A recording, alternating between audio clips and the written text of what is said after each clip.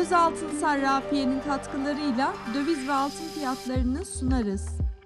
20 Mayıs Cuma döviz ve altın fiyatları gram altın alış 941 lira, gram altın satış 943 lira, çeyrek altın alış 1525 lira, çeyrek altın satış 1538 lira.